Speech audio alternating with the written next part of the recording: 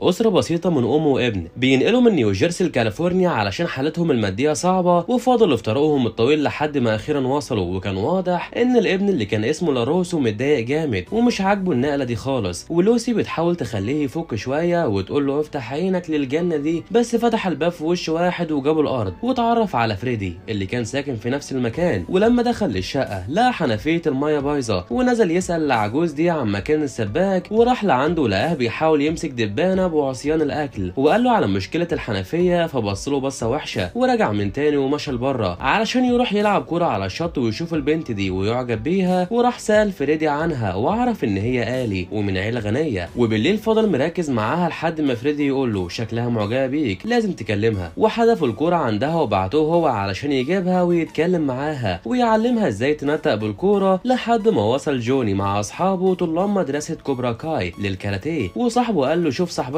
مع مين فتشوط الكورة بعيد ويروح لروسو يجيبها ولما رجع من تاني يلاقي إن جوني بيقول لها عايز أتكلم معاكي وهي بترفض وكان مصر إن هو يتكلم معاها. فتقول له هات الراديو وأنا هكلمك. بس لما أخدته شغلت أغنية وعلى طول يرميه من إيديها. وراح لروسو يحاول يهدي الوضع شوية فزقه لبعيد. وقام يتقاتل مع جوني وفضل يسقط على الأرض ولما قام ضربه بالرجل وجابه الأرض. وقال لها هو اللي بدأ. فيغفله بضربة في وشه وده عصب جوني جامد ونزل فيه بالضرب واتعصبت عليه آلي لحد ما مشى ولما حاولت تساعد لاروسو قال لها يمشي وسيبيني والشباب بيعفروا عليه وهم ماشيين. وتاني يوم بيلبس النضارة وتفضل تقول له لوسي شيلها علشان عايز أشوف عينك. ولما شالها انصدمت إن هو واكل علقة. فقال لها أنا دخلت في حيطة بس ولازم أمشي. ويطلع بالنضارة علشان يروح للمدرسة ويشوف هناك جوني وأصحابه. وزمايله بيتنمروا عليها علشان انضرب. وبتيجي آلي تتكلم معاه وتشكره إن هو دافع عنها امبارح. وواضح إن جوني وأصحابه بيخططوا لحاجة. ولما بدأوا لعب جابوه الأرض واتخانق مع صاحب جوني وانطرد من الملعب. وتشوفه آلي وهو ماشي وراجع للبيت يتعلم الكاراتيه. ولما جه مياجي علشان يصلح الحنفية وشافه بيتعلم من الكتاب. تاني يوم بتروح آلي علشان تتكلم معاه وتعرفه إن جوني كان حبيبها. وانفصلوا من كام أسبوع بس. وبعدها يدخل مدرسة كوبرا كاي علشان حابب اللعبة دي وعايز يتعلمها. وكان المدرب جوني كريس هو اللي بيدرب الطلاب. واللي كان جوني منهم وشاف لاروسو وبسرعة لف وشه وطلع من المدرسة. وراح قعد مع امه في المطعم اللي هي شغالة فيه. وبره جوني واصحابه بيشوفوه قاعد في المطعم ودلوقتي عندهم خطة. والأم بتعرف إن هو معجب ببنت معاه في المدرسة وبالليل وهو راجع للبيت. طلعوا وراه الشلة بالموتوسيكلات واتلموا حواليه لحد ما يخلوه يسقط وفضل يتدحرج على الأرض وهو نازل. ولما رجعت الأم شافته وهو بيرمي العجلة ومتعصب جامد. وتشوف وشه المتبهدل على آخر ويقول لها مش بتحبي تسمعي غير إن المكان حلو قد إيه والكلام ده. ومش همك ابدا اللي بيحصل لي. أنا بكره المكان ده. لازم أتعلم الكاراتيه ومش من كوبراكاي ولما مشوا طلع ان السباك مياجي كان سامعهم. وتاني يوم بيروح يكلم آلي بس بيشوف جوني قدامه ويجيب ورا بسرعة. فتقول له آلي لازم تواجههم. فرد عليها وقال لها هتعامل بطريقتي وهرب من المكان. ولما رجع بالليل لقى إن العجلة بتاعته متصلحة قدامه. فراح لعند السباك مياجي وعرف إن هو اللي صلحها له وشكره علشان عملها له. فطلب منه مياجي إن هو يدخل لعنده ويقول له أنا من أوكيناوا في اليابان. وبدأ يعلمه إزاي يهتم بالشجرة دي ويقول له ارسم صورة جوه خيالك للشجرة وخلي دي شبه اللي في خيالك. وتيجي الأم بعد ما شافت العجلة هي كمان علشان تشكر مياجي واللي بيديهم شجرة هدية وبالنسبة للشجرة دي فهي مميزة جدا ليه. وتاني يوم لما شاف آلي استخبى بسرعة وتجنبها فيسأله مياجي مش هتروح الحفلة التنكرية ليه؟ فرد عليه وقال له كده كده ما عنديش زي تنكري لو عندي زي الراجل الخافي هروح بيه. فصنع له زي تنكري على شكل دش حمام وراحت آلي لعنده جوة وتقول له إن نفسها جوني يدوق من اللي هو بيعمله في الناس. ولما فتحوا الستارة شافوا واحد بلبس فرخة ورمى عليه بيضة. ولما دخل للحمام شاف واحد من أصحاب جوني بيقول له إنجز لف السيجارة وتعالى. وبعد ما خرج لاروسو اخد خرطوم المية وراح حطه فوق جوني. وبسرعة فتح الحنفية بتاعة المية وطلع لبره جري وطلع وراه جوني هو كمان وتعنقله آلي هو وأصحابه. ولاروسو طلع لبره يجري في الشارع. وهم طبعا طلعوا وراه وفضل يجري علشان يوصل لعند بيته.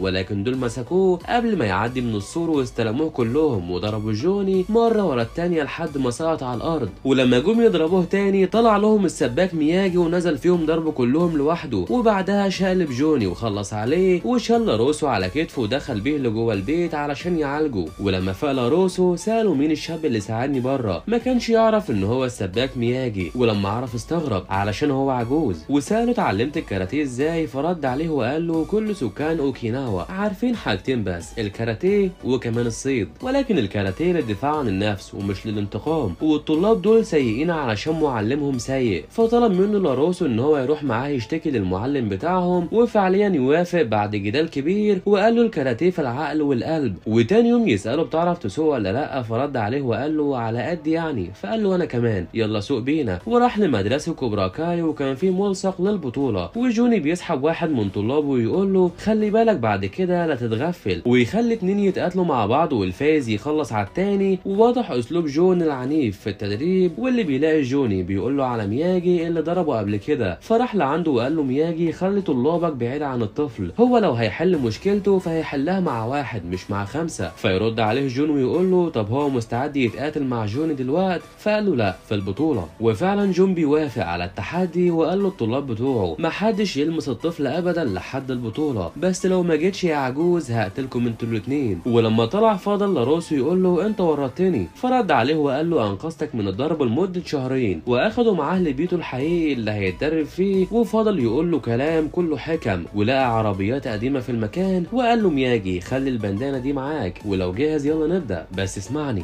لو مشيت على اليمين هتكون بخير ولو على الشمال هتكون بخير. إنما لو مشيت في نص الطريق مسيرك هتندهس. ويوعده إن هو هيعلمه الكاراتيه ولكن لازم يسمع الكلام وينفذ بس من غير أي حاجة. ولما وافق اداله سفنجة وقال له يلا اغسل العربية ومن غير أي سؤال. وفضل لاروسي يغسل فيهم لحد بالليل ويعلمه إزاي يحرك إيده صح لحد ما لمعهم على الآخر. وراح علشان يقول له خلصت بس يلاقيه بيتأمل وطلع إن هو نام ومشى وسابه. وتاني يوم لما قالت تشوف وشه المتبهدل تروح تدور على جوني علشان تهزقه ولكن بيقول لها اتفرجي بس. واتريق عليهم قدامها وجوني كان هيضربه لولا إن صاحبه حش وقال له زي ما قال جون. ولاروسي يقول لآلي على اللي حصل وإنهم مش هيقربوا ليه خالص لحد البطولة ويتفق إن هم هيخرجوا مع بعض يوم السبت وآخد منها العنوان وحاول يخلي أستاذ التاريخ يستلم الشلة بس هم خلعوا وهو اللي لبسها لوحده وهيسمع القصة وراح بالليل مع أمه علشان ياخد آلي من البيت وتعرفوا على أمها وأبوها ويتفاجئوا ان هم من سكان رصيدة المنطقة الفقيرة وطبعا هم أغنياء. وراحت معاه آلي ولكن العربية عايزة زقة ونزل وهو محروق علشان يزقوا مع أمه. ويركبوا بسرعة وينطلقوا ويروحوا الاتنين في أول ديت ليهم ويقضوا الليلة مع بعض وكمان بيتصوروا. ولما خرجوا صحاب آلي الأغنياء كانوا خارجين مع بعض ومنهم جوني. ولكن ما يرضوش ان هم يروحوا معاهم وتاني يوم يلاقي المعلم مياجي مجهز حاجة زي القفازات للصنفرة. وعلمه حركات عشان يصنفر بيها وسابه يشتغل كده وقال له كل الأرضية ومشى. وفضل شغال لحد بالليل وكان تعبان جامد فقال له روح ارتاح وارجع تاني يوم بكرة الصبح علشان تبدأ. وفعليا رجع من تاني ولقاها بيحاول يمسك الدبانة برضه. فيقول له الراجل اللي يقدر يمسك الدبانة بعودين بس يقدر يعمل أي حاجة. فمسك عودين هو كمان وحاول يمسكها لحد ما قدر فعليا وانغاظ منه المعلم جامد علشان مش قادر يمسكها من زمان. وقال له خلي بالك ده حظ بس. ودلوقتي لازم تدهن كل السور ده. وعلمه إزاي يدهن صح. وراح وجاب له كمان علب دهان ويقول له هتعمل السور كله. وفضل يدهن فيه لحد ما خلصه. لقاه بيقول له لسه الجنب التاني. ورجع يشتغل عليه لحد بالليل وقال له مياجي عاش وتعالى كمل بكرة. وجا تاني يوم ولقى رساله مكتوب فيها ادهن كل البيت وتعصب جامد من الموضوع ده. وفضل شغال لحد ما جاله المعلم مياجي بالليل فنزل وقال له كأني عبد عندك. المفروض تعلمني الكاراتيه وبقالي أربع أيام من غير ما أتعلم أي حاجة غير الدهان وتلميع عربياتك. وهمشي دلوقتي. فينده عليه وقال له تعالى وريني إزاي بتصنفر الأرض. بس وأنت واقف. وعمل الحركات وبعدها قال له امسح العربية. وعمل برضه الحركات. وبعدها قال له ادهن السور وعمل كأنه بيدهن السور فعليا. وبعدها هجم عليه وصد لاروسو الضربات بحركات الشغل اللي كان بيشتغله. واتفاجئ لاروسو إن هو بقى بيعرف يلعب كاراتيه. وقال له مياجي ارجع بكرة من تاني. ومشى لاروسو وراح تاني يوم للشط وقال له المعلم انزل للمية وتعلم التوازن. ونزل فعليا للمية وفضل يبلبط فيها. وبعدها شاف المعلم مياجي وهو واقف فوق عمود خشب. وبيعمل حركات معينة وهو واقف على رجل واحدة. ولما جم يمشوا سأله على الحركة اللي كان بيعملها. فرد عليه وقال له الحركة دي لو عملتها قدام أي حد مش هيقدر يصدها ابدا. بس اتعلم الأول الوقوف والتوازن. الحركة دي أبويا اللي علمها لي. ولقوا اتنين خمرجية عند العربية وطلب منهم مياجي إن هم ياخدوا الأزاز بتاعتهم فقال له خدها أنت. وعلى طول كسرها مياجي وركبوا العربية. وفضل يلعب لاروسو مع الي وتقول له إن بالليل هتتعشى مع أهلها وتطلب منه إن هو يستناها قدام المطعم علشان تطلع بالليل يخرجوا سوا. وراح مع المعلم مياجي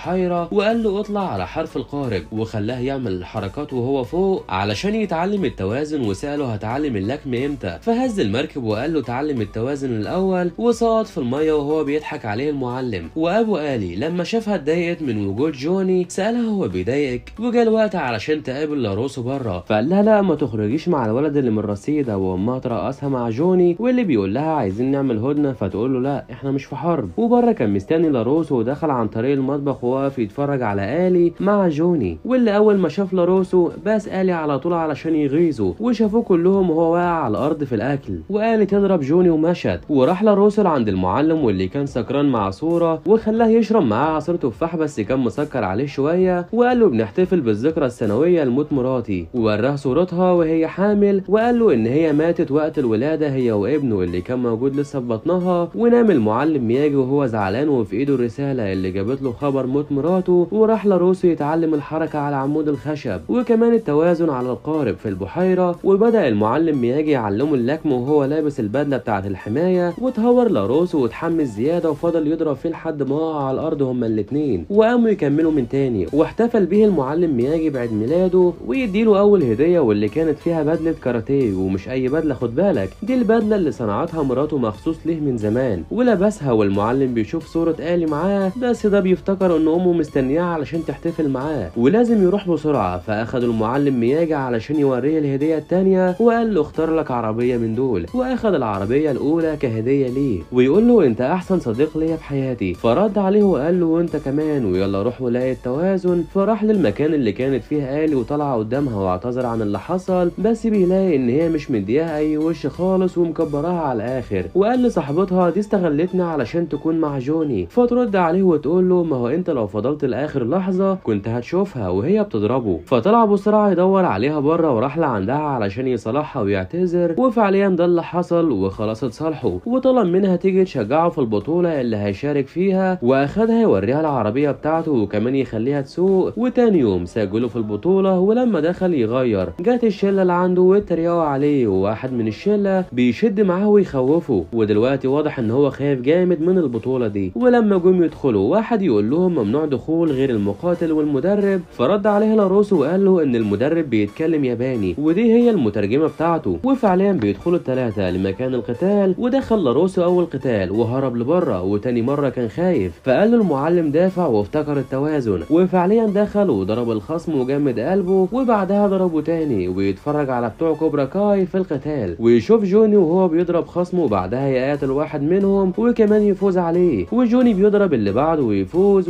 وتستمر القتالات كده والتصفيات بتتم في قتال بعد التاني. ولاروسو يقاتل صاحب جوني وينضرب منه بس بعدها يضربه وكمان يفوز عليه. ودخل ضد الشاب اللي كان بيخوفه جوه من شوية. وبدأ القتال وأخد أول ضربة في وشه. بس قام من تاني وضربه في بطنه وفاز عليه. ويجهزوا المعلم مياجي للتصفيات الأخيرة. ودخل جوني ضد واحد تاني. وبدأ القتال معاه وجابه على الأرض وبعدها يضربه تاني. وبرضه يجيبه الأرض. وكان بيتفرج لاروسو وهو قلقان جامد من جوني. واللي هجم كمان مرة على خصمه وفاز عليه. وفي المباراة التانية هيتحدد مين اللي هيقاتل جوني. بس جون بيقول له الطالب بتاعه اللي هيقاتل لاروسو عايزه يتصاب بس. فرد عليه وقال له بس أنا أقدر أغلبه. فتعصب عليه جون وقال له عايزه متصاب. ودخل لاروسو لمكان القتال ضد صاحب جوني. وضربه بشكل مخالف على رجله. وراح مياجل عنده ومش قادر يقف عليها من تاني. وجون بيبص لهم وهو شمتان فيهم. والحكم بيقول له قدامك بس ربع ساعة علشان ترجع للقتال من تاني. أو تخسر. وجوني بيبص لجون باستحقار فيقول لهم جوه لاروسو سيبوني شوية. ونادى على المعلم مياجي وسأله تفتكر كنت أقدر أفوز؟ فرد عليه وقال له أيوه أكيد. كان عندك فرصة كبيرة. فطلب منه إن هو يرد الضربة ويساعده. علشان المتنمرين دول كل ما يشوفوني هيفكروا إن هم حطموني. فقال له خلاص غمض عينيك وحك إيده بسرعة علشان يعالجوا على الطريقة اليابانية. وقال تقول لهم على آخر لحظة إن لاروسو هيرجع للقتال تاني. وراح لعندهم فعليا وهو